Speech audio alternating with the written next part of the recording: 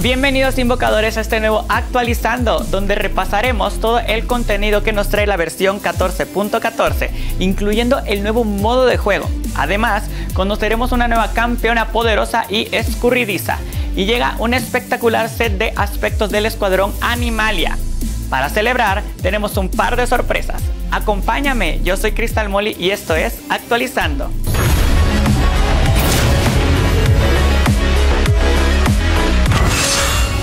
Siempre, empecemos por el carril superior, con mejoras para Cho'Gath, Jace y Zion, mientras Jax y Rumble fueron nerfeados e Irelia recibió un ajuste. Los buffs de Cho'Gath, Jace y Zion buscan mejorar su juego temprano para que consigan ventaja y sean más útiles al final de la partida. A Cho se le aumenta el daño de su Q y E, a Zion se le aumenta el daño de su W y por último a Jace se le aumenta el daño de su Q en forma de cañón. Irelia tiene picos de poder a lo largo de la partida, lo que la hace destacar en ciertos momentos pero también enfrenta dificultades en otros. Para darle más consistencia, su crecimiento de daño de ataque por nivel se reduce, pero su pasiva ahora escala linealmente con cada nivel. Además, su ulti reducirá el enfriamiento de su Q, permitiéndoles más oportunidades para entrar y hacer lo que hace una Irelia. Para la jungla, casi todos son malas noticias. Nerfeos para Velvet, Kindred, Lilia, Nidalee y Zaira solo Hecarim recibió un ajuste. Kindred estaba dominando las peleas uno versus uno contra otros junglas y luego en el juego tardío se volvía más fuerte que cualquier acarreador. Para balancearlos, ahora su Q les da menos velocidad de ataque y hace menos daño. Así que amigos de Kindred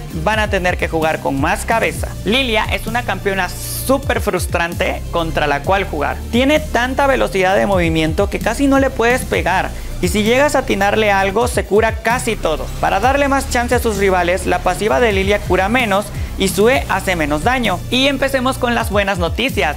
Hecarim recibe una ayuda para sobrevivir en la jungla y limpiar los campamentos más fácilmente. Ahora tiene más vida por nivel y Sue tiene mayor enfriamiento en niveles bajos, pero menor en niveles altos. Además, su W dura menos tiempo, pero cura más y tiene menos enfriamiento. Esto significa que podrás usar la W más seguido y será más decisiva en las peleas. En Mid volvemos a tener un poco de todo. Hubo mejoras para Syndra y Zed, nerfeos para Corki y Brand y ajustes para Aurelion Sol. Aurelion Sol gana sus encuentros spameando su Q, ya que su bajo costo de mana y su gran daño le permite usarlo todo el tiempo casi sin pensar. En esta versión, la idea es mover de su Q algo de su poder y redirigirlo a otras habilidades, así que ahora su Q cuesta más mana tanto para lanzarla como para prolongar su duración. Por otro lado, su W tiene mayor rango y su E cuesta menos maná. Y por último, su ulti escala mejor con el poder de habilidad. Syndra, como la maga que es, depende mucho de sus habilidades. Actualmente tiene un enfriamiento muy alto,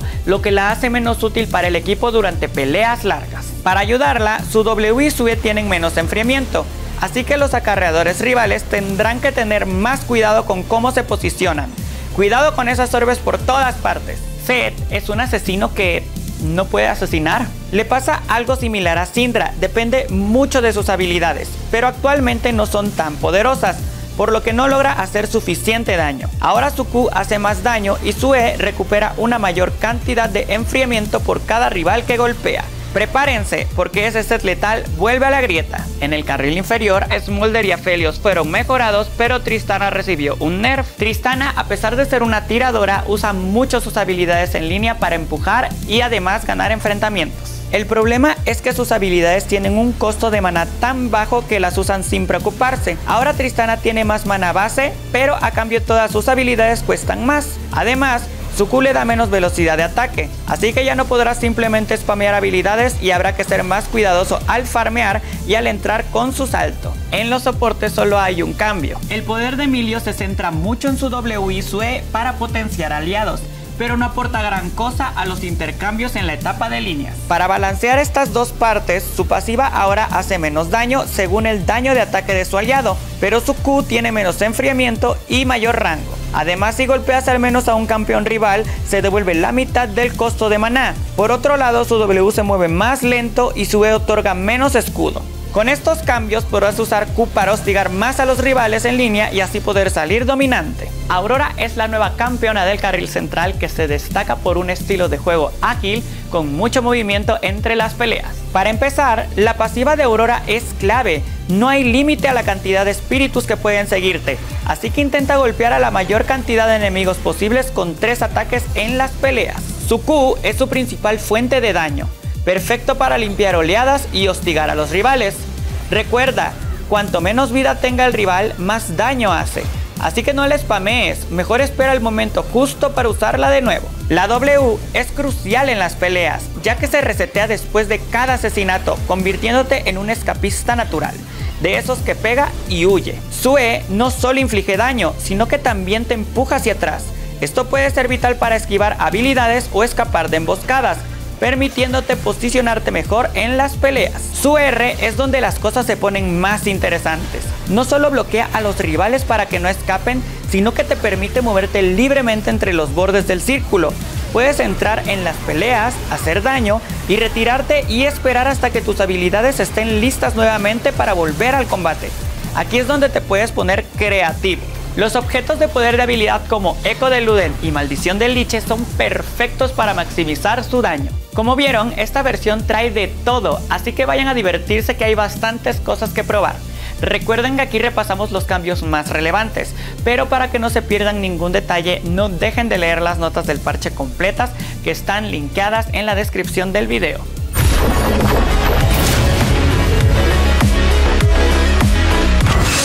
Horda es el modo perfecto para poner a prueba tus habilidades de supervivencia. Aquí casi cualquier cosa puede acabar contigo, pero lo crucial es que los poderes se lanzan automáticamente.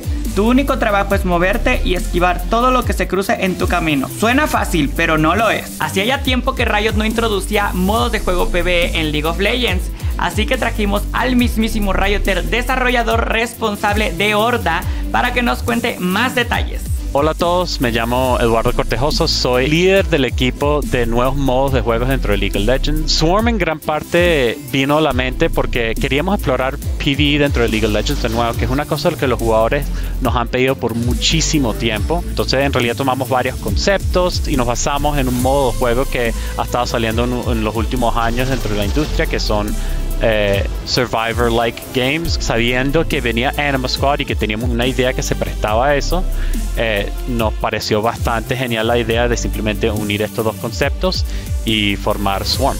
El mix de cute tecnología y el contraste entre los animales y, los Primordians simplemente forma eh, una identidad bastante única dentro de los universos de League of Legends, que para mí es una de las cosas más impresionantes de lo que hemos hecho en este proyecto. Construimos cuatro mapas y le pusimos todos los textures y assets y ese tipo de cosas y de repente me acuerdo perfecto, fue el momento durante el desarrollo del juego que pasó de ser una idea que podría funcionar a, ah, esto creo que tenemos algo aquí y los jugadores van a verlo también. Diría que Swarm está hecho para alguien que está buscando algo de novedad dentro de League of Legends en particular, que simplemente estamos creando un ecosistema dentro del League que es no solo de rankear o buscar un ARAM, servir esa base de jugador que de repente ya no rankea tanto, pero sí quiere buscar algo más novedoso dentro de los universos y los, personajes de League of Legends. Campeones favoritos para Swarm,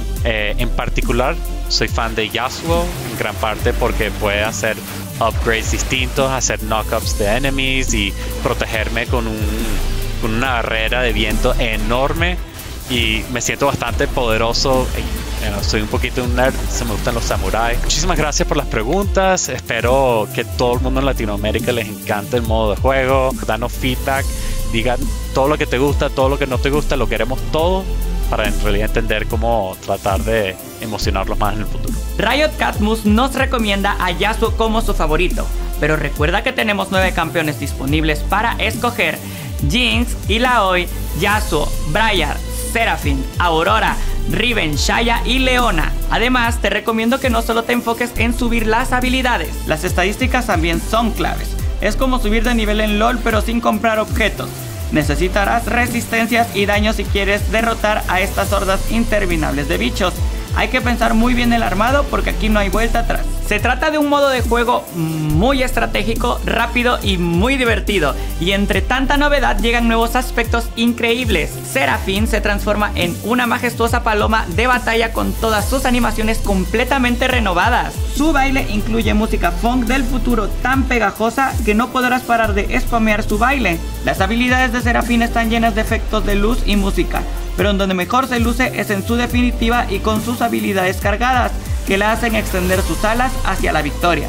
Yumi sigue la temática cibernética con animaciones y efectos de sonido futuristas que la hacen ver espectacular. Los efectos visuales de sus escudos y su definitiva brillan con esta nueva temática. Además, viene con una versión prestigiosa que añade detalles dorados y haciendo que Yumi parezca enteramente hecha de cristal. Aurora debuta en la grieta con este aspecto que la transforma en una amenaza digital con sus nuevas animaciones cibernéticas. Su definitiva crea un ciberespacio de locos, haciendo de Aurora una verdadera pesadilla para sus enemigos. La estética de conejo de batalla la hace ver inocente, pero nadie sabe lo que estará tramando realmente. Las plumas de Shaya se ven más afiladas y letales que nunca con su nuevo aspecto cibernético. Sus efectos visuales le dan una nueva vida a este personaje, que se ve impresionante al desaparecer con su definitiva en una ráfaga de efectos digitales.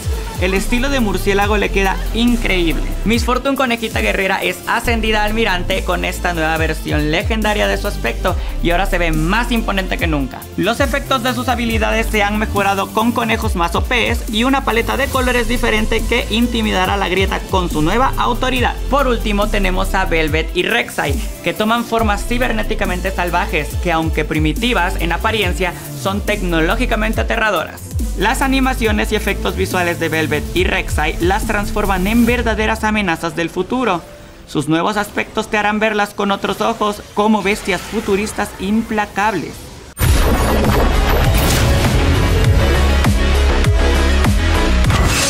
Como ven, yo no podía quedarme atrás porque esta temática me encanta. ¿Qué opinan del espectacular cosplay de Serafín que llevo hoy puesto? Pues es la obra del talentoso Twin Cosplay, a quien pueden seguir para ver más de sus trabajos. Y ya vestida apropiadamente para esta ocasión, ahora hablemos de... Esperen. Oigan, ¿qué está pasando? Está todo... ¿Alguien me escucha? Aquí Serafín. Los primordianos han liberado sus hordas. Nos superan en número. Necesitamos toda la ayuda que podamos encontrar. El mundo está en juego y Latinoamérica no es la excepción. Esto es un llamado de la comandante Serafín. Afilen sus garras y prepárense para la batalla contra los primordianos. Sabemos que son demasiados y que huelen rarito. No importa cuántas veces tengamos que derrotarlos, con cada victoria nos haremos más fuertes.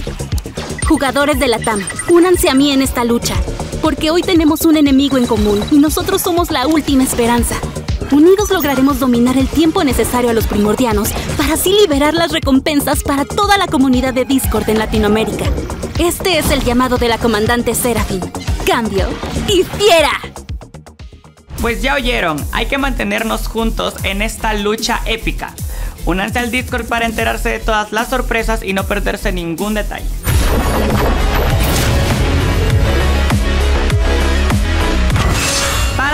Sección de esports tenemos a un experto para ponernos al día. Bienvenido Abdiel. Gracias Molly. La hora del show está de vuelta nuevamente porque después de un descansito nuestra LLA regresa aún más emocionante porque a partir de ahora se comienza a definir quiénes serán los cuatro clasificados a playoffs. Aunque Movistar R7 e Isuru se mantienen a la cabeza, los demás equipos han prendido motores y no piensan dejarlo fácil.